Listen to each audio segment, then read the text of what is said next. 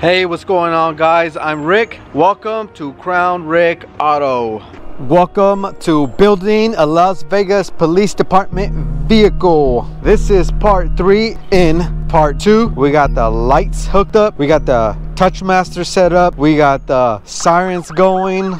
We painted the black parts. So now we're gonna continue with building the vehicle. Before we get started, let me show you what I just bought. I'm gonna search here for goodies, weapons, guns, equipment, I'm going to use it for parts for the Vegas project, but my main focus right now is getting it off this trailer. It's stuck, so we got to force it open.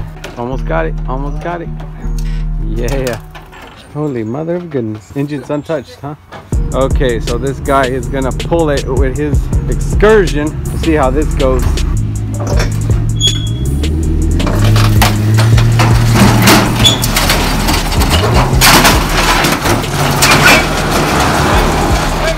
Bro, you you started dragging the truck too.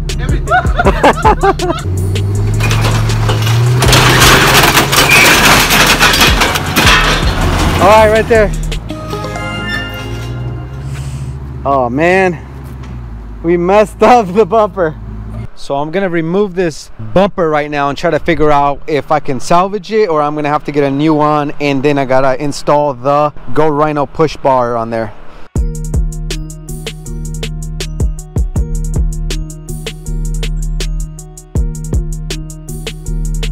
Okay, so the bumper is stuck because this bracket right here is bent. So I'm gonna go ahead and try to heat it up and see if I can bend it back. Piece of junk. Okay, so the heat thing worked, not by bending the metal, ooh, that's hot, but by melting the plastic around it. But hey, if it works, it works. Time to install these babies. Okay, got the first one in. Yes, I got it hooked up now. Great success. Now all I need is the bumper. I just want to pet you. Chase, back away from the camera. Hey there. Let's do the good boy. I brought this home. I'm gonna drill some holes because I got these two square siren speakers. Because if you look on the picture, there is two square siren speakers that go to it.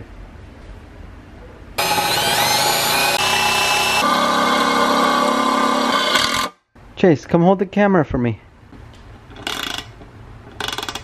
Okay, now it's done and I added that Metro sticker on there. That's not the official sticker. And check these out. I bought them to go with the Vegas project. It is an exact replica. And this one I'm going to be giving away to subscribers here soon. I will engrave it in the back. More details to come very soon. And I also brought these home with me so I can clean them while I'm at it. Look how clean it is now. Ta-da! Nice and shiny. Show us your best trick, Chase. The one where you could take a nap. So the very next day I headed to the junkyard in search of that bumper. And what is this? Look what these people did. Is it a good idea or a dumb idea? Either they're smart or very stupid.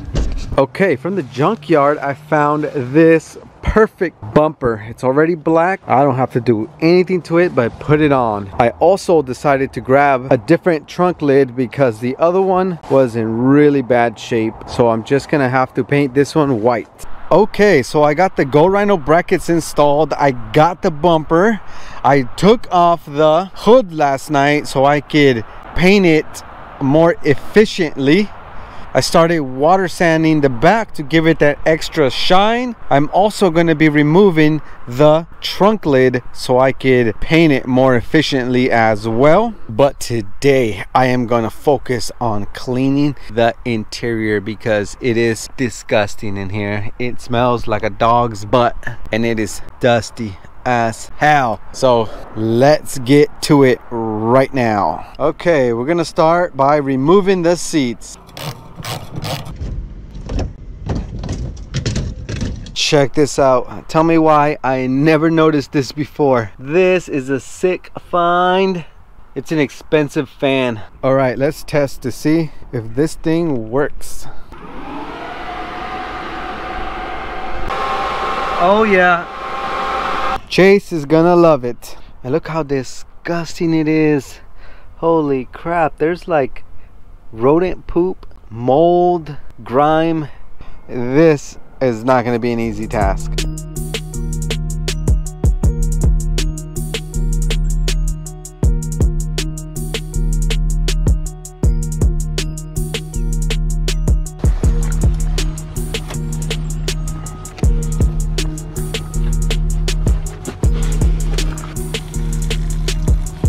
Look how disgusting this is. We must continue. But check this out. I found this Rickey Henderson card. This cop was on the way to sell this and make some money and then it just got lost in the Crown Vic black hole. You owners know what I mean.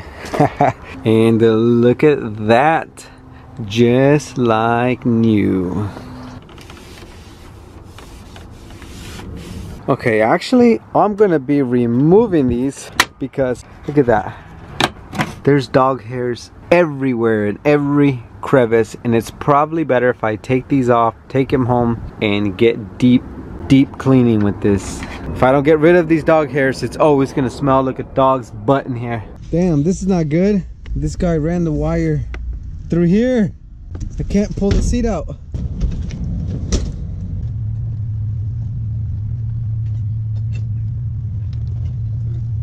In case you didn't know light bars are very heavy.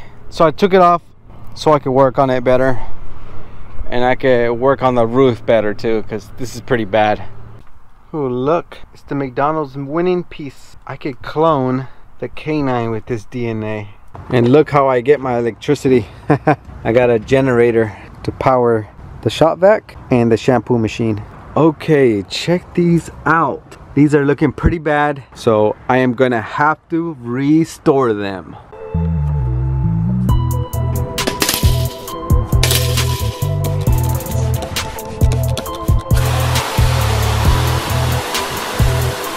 Chocolate milk. Oh, those are nasty.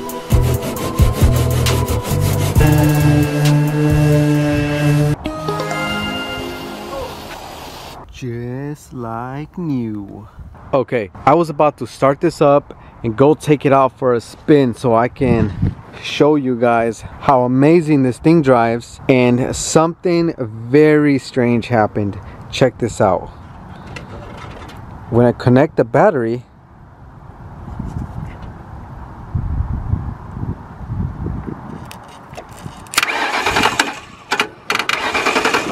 you see that? It starts.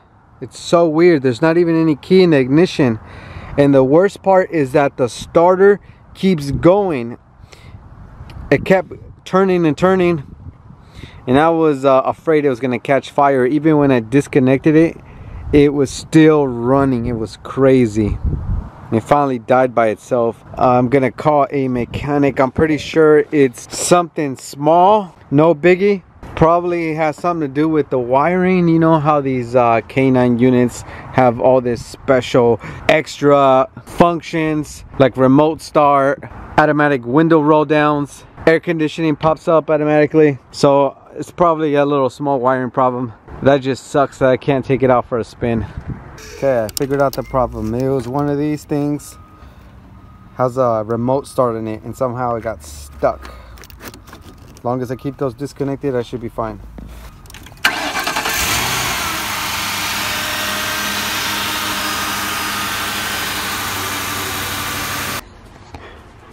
Chase, show us the trick. Show me a trick. Sit down. Sit.